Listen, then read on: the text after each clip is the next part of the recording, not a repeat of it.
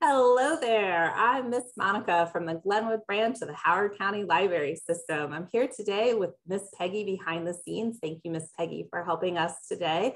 And this is our next episode of STEAM Saturday. This is our biweekly class where we learn about science, technology, engineering, art, and mathematics. And we learn about those things through fun activities and lots of information. So I'm so glad you're joining us today please remember that this class is pre-recorded.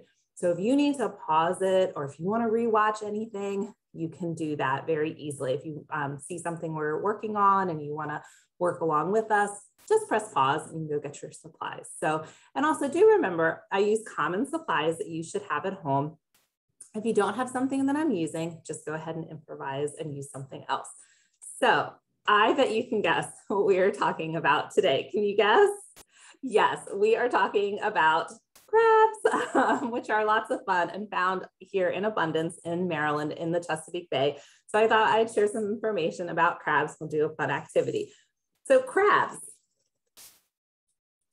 Crabs are great. They have pinchers on two of their legs. They have a total of um, four legs on each side and the top ones have pinchers. So we're gonna start with a little fun activity. So I want you to go ahead and grab something that you have a lot of. So if you have like little pom-pom balls or cotton balls or chocolate chips or uh, blueberries or just something little that you have maybe like 20 of. And what we're gonna do is we're gonna pretend that we're crabs and we're gonna use our pinchers. And crabs use pinchers to pick up things. They also use them to break up their food. You know, like we cut our food so they like can break up their food. They also use them for defense. So to protect themselves, they can pinch. If you've ever been bit by a crab, it hurts. Um, so we're gonna pretend that we're crabs and that we have pinchers and you can use, for our younger viewers, you can use your these two fingers and pinch. My older listeners, I'm gonna suggest using like your pinky and your thumb or your ring finger and your thumb. It's a little harder. Or if you don't wanna do that, and you have a clothespin, you can also use the clothespin. And we're gonna pick up things just using pinchers. Just, see, this is a little harder, okay? And we're gonna see how many things that we can pick up in 30 minutes. So go ahead and pause the screen if you would like to go and get a, um, a material. Uh, I have a paper plate to hold my, you know, one of those if you don't want to. And okay, are you back? Awesome. You've got something to pinch and pretend that you're a crab.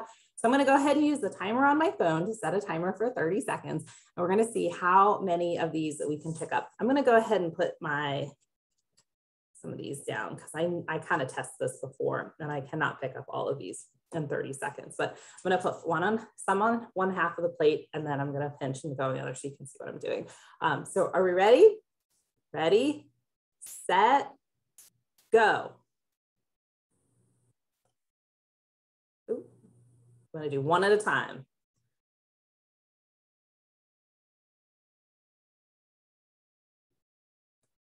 Of course, I'm liking mine to be like all neat and tidy. I'm gonna switch, try this one. You can try all different fingers, see which ones work best.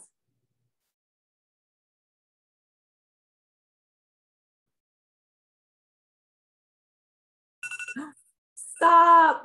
How many did you, there we go, do it again. Okay, so let's see, cancel that. Um, it is still going. It reminds me of waking up in the morning hearing the alarm. So, so if you don't have a phone or you don't have a timer, you can always have one person count to 30 and then the other person see if you're working with somebody or you can count your head too. So how many of your items did you pick up using your crab pinchers? I picked up one, two, three, four, five, six, seven, eight, nine, 10, 11, 12. I have a dozen. That's awesome. Did anybody else have a dozen? Yeah? Cool. You're great little crabs. You got your pinchers. So that's a fun little activity. So let me go ahead and pick that up. And we're going to learn about some crabs. Okay.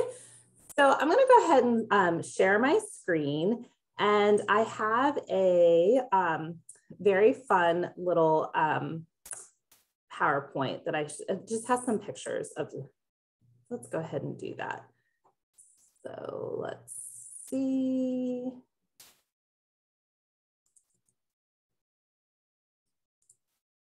Okay, let's see where that is. Here we go. Okay, here we go, sorry. So let's see.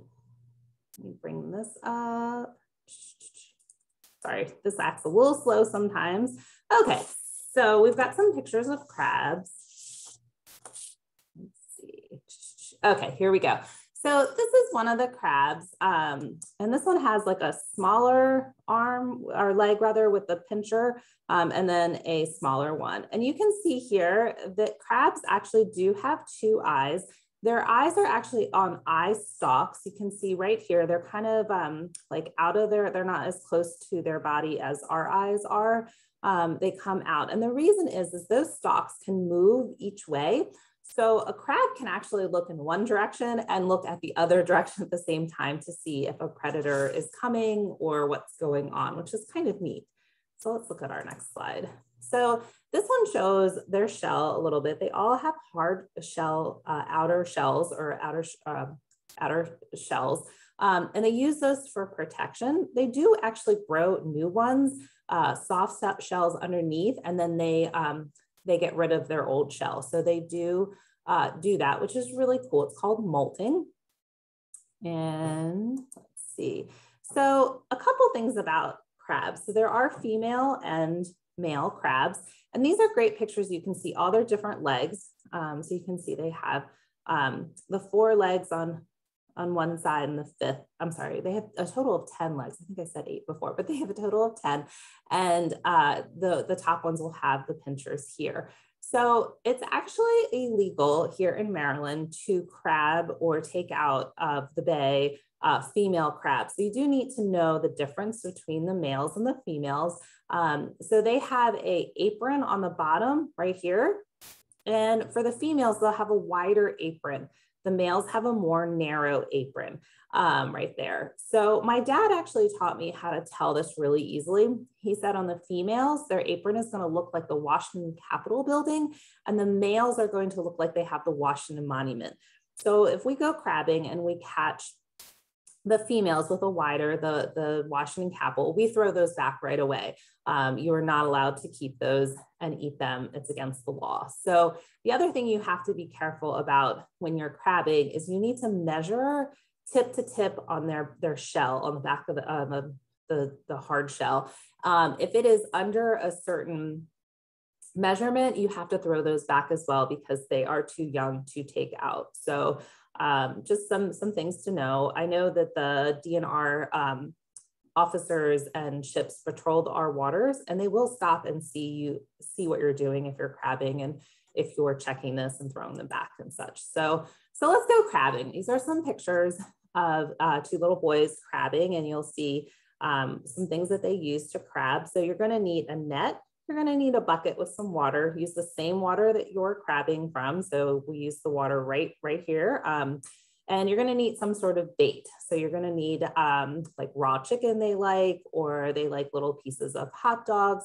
You're also gonna need something to catch them with. And in these pictures, they're using a pole with a string with a hook that they put uh, pieces of hot dogs on. You can also use crab traps. So if you have a crab trap, um, they are devices that have a hole in the bottom where the crab comes in when they smell the food, and then they get um, they get trapped in the trap. Uh, it's hard to get out, easy to get in, hard to get out.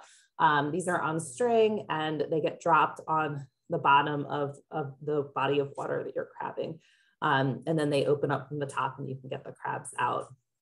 This is one way. We, we personally prefer um, using the poles, but you could use either one.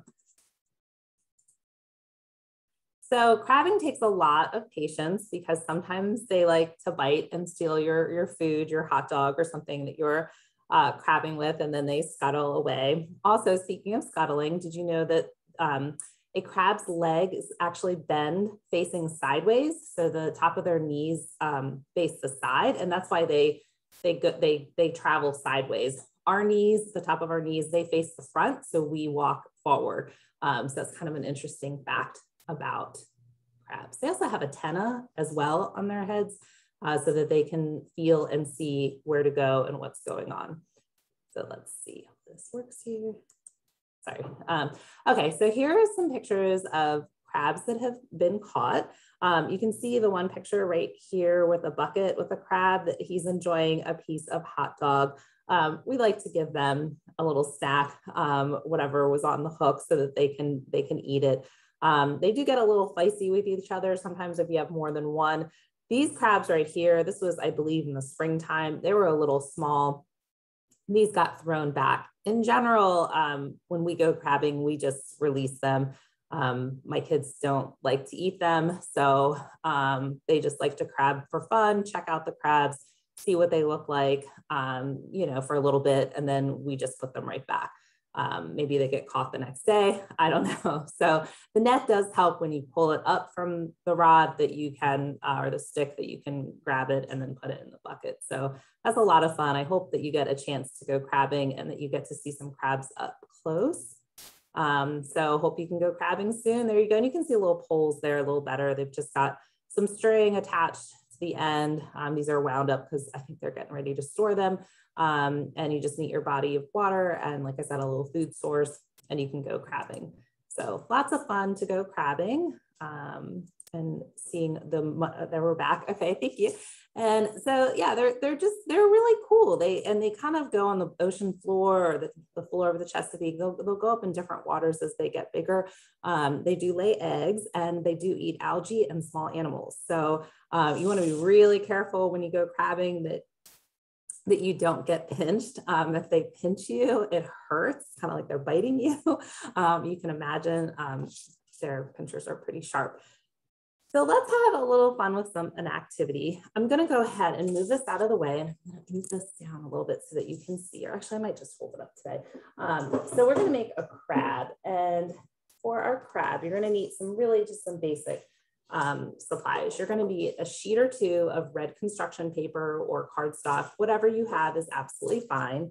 And you're going to cut that into different size pieces. So you're going to need a pair of scissors. Uh, make sure you have like safety scissors or child scissors. These are grown up scissors. Um, you want to use either a glue stick, some regular tape, some regular glue, whatever sticky stuff you have at home is fine. Um, I'm going to use double stick tape today just so that it sticks a little quicker so that it can hold things up and show you. Um, also, you're going to need some googly eyes. I happen to have the ones that are uh, sticker-like that, you know, stick right on. But if you have the ones that glue on, those will work absolutely fine. So um, some googly eyes. And then I'm going to show you what sizes I have of everything.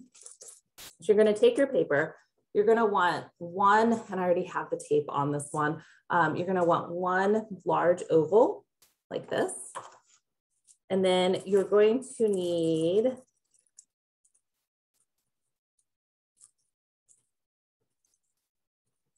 some uh, long strips like this and some shorter strips. So just cut a bunch of these. Um, you'll need for the 10 legs, um, and then you'll need it for the eye stalks as well. So you'll need those.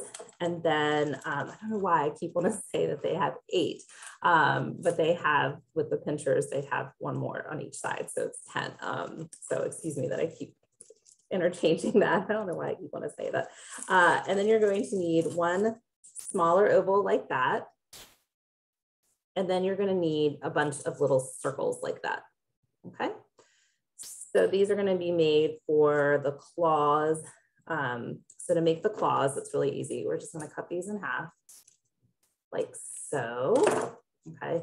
And then you're just going to put them like that. So I'm going to get a little piece of tape. I'm going to make the claws first. These are the pinchers, the claw, and just a little piece of tape there and put them like so. Okay, you're going to make two of those. and like so, okay? Then the next thing you're gonna do is you're going to take these longer pieces, these strips, okay? And you're just going to fan fold them back and forth, back and forth, back and forth, like you're making a fan, okay? And it goes like that, see? Like so. And you're gonna wanna do eight of those, like so, okay? And then they don't need to be perfect. They don't need to be exactly symmetrical and equal. And then you're just gonna put some pieces of tape like that. And you're gonna put the little legs right here, okay? Just line them up on each side. I'm gonna do four on each side, like so. Okay, and then you're going to take one of the shorter pieces, or you can take one of the longer pieces, cut it in half, and you're going to put the claw on there, the pincher, okay, like so. And then those are gonna go right there. And you're gonna wanna do the same exact thing on the other side. Then what you're gonna do is you're gonna take that small oval and you're gonna attach it. Just pretend that this other one is done. You're gonna attach it like this.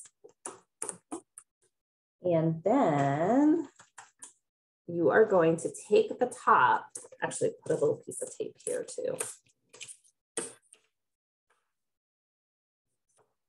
These real, real quickly and you can see them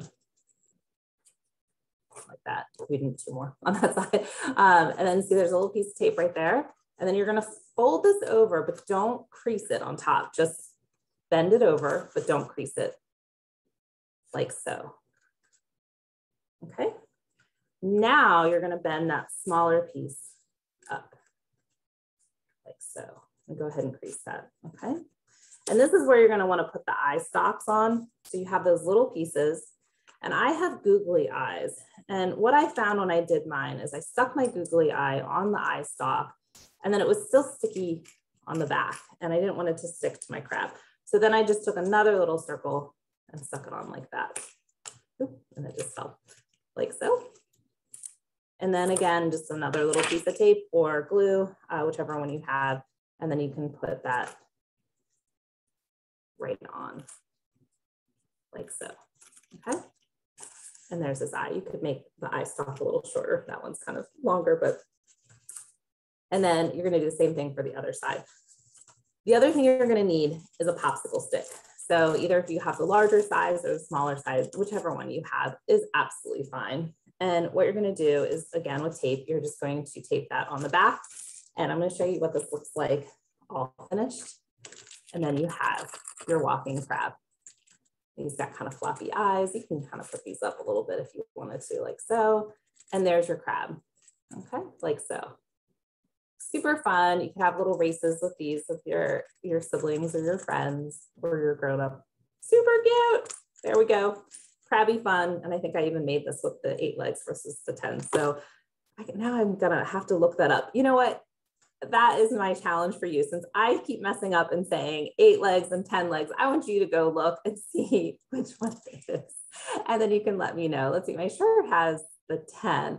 Um, I don't know why I am stuck on eight legs of crabs, but maybe uh, my crab got in a fight and lost one of his legs. I don't know, but go ahead and research that yourself because um, I'm cracking myself up over this. So Speaking of finding out about the crab's legs and other things, um, you can come to the library. We've got lots of different books on crabs that you can check out and find out lots more information about our crab friends in the Chesapeake Bay. So first we have Ocean Life Up Close Crabs by Rebecca Pettiford.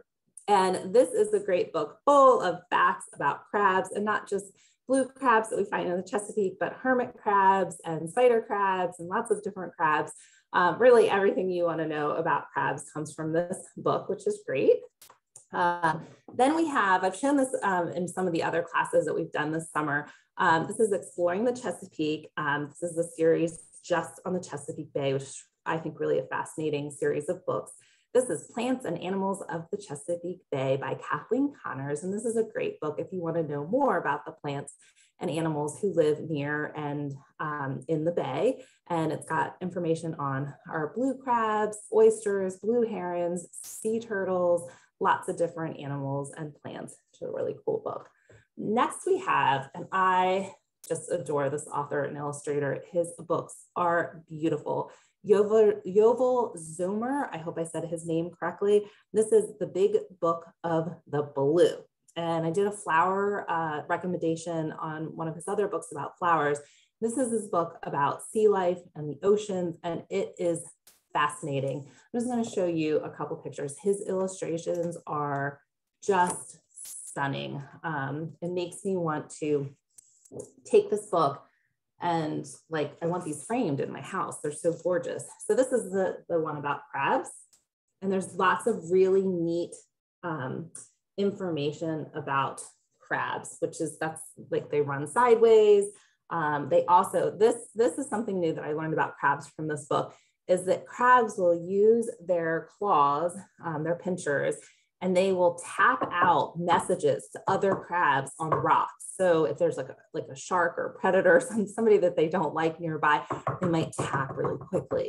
Um, that's fascinating that a little crab does that. So um, this is the big book of blue. Um, I hope you'll check that one out at the library. It's a big book too, which is kind of exciting. Um, also, for our younger readers, I do have a couple storybooks, picture books uh, that involve crabs that I just love. This is Peanut Butter and Jellyfish by Jarrett K. Krosoczka. I'm going to say that wrong. Um, there you go. You can screenshot it. I also have a, a list uh, going that your grown up got as well in the email. Um, super fun book about friendship, about the jellyfish um, and the seahorse and Crabby Crab. Uh, that, that's kind of crabby because that's kind of um, what crabs are known for, and um, just how they become friends with Mr. Crab. And super fun book. We also have the great and wonderful Eric Carle, who just never disappoints. He recently passed away, which makes me so sad because his stories and his illustrations are beautiful and timeless and they tell a great story for kids. So this is a house for hermit crab. So we're talking about like blue crabs a lot today, but there's also a whole species of hermit crabs. Um, this is a type of crab that you know, a lot of people might have as a pet. Um, super fun book about a hermit crab. And also this is, oh, that's, this is another book real quickly about hermit crabs, caring for hermit crabs. If you're thinking about um, getting a hermit crab this summer, this would be a great book as well. Um, also, last but not least, I know I have a couple more book suggestions. I just couldn't pick uh, two or three to share with you. I had to pick a whole bunch. So this is Moonlight Crab Count. Um, so there are people, volunteers uh, across the, um, the earth that, that do crab counts. So um, especially here in the Chesapeake, crabs uh, were really declining the number of crabs in the bay people were over crabbing. Uh, I showed you how to crab, but I also talked to you a little bit about crabbing responsibly um, and not taking the females and not taking the younger crabs and just making sure you don't take too many if you're going to eat them.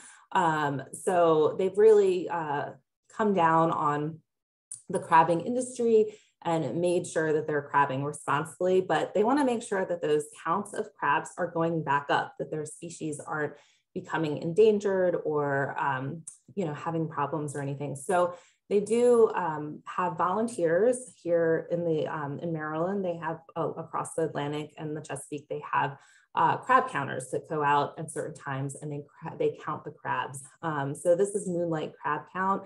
Um, it's by Dr. Neeti Bathala and Jennifer Keats Curtis, and it's illustrated by Veronica V. Jones. It's a really interesting book about a moon a, a moonlight uh, in the evening crab count that a little girl does with her her mother. So those are some books that you can check out from your local library. Have your grown up go online and put them on hold for you, and then you can go to your local branch. We are now open, um, and you can pick those up, and you can also browse from some other books. So it was so nice to see you please make sure your grown up also signs you up for our next episode of Steam Saturday, which I believe will be in two weeks. Um, and just also remember if you haven't seen any of our past Steam Saturday uh, episodes, or if you're looking for some other virtual classes, especially for younger kids or older kids or adults and teenagers, they are all on our YouTube channel. So you can um, right away click on them and watch them. So I hope to see you really, really soon. Thank you so much for joining us today. You have a great day. Take care.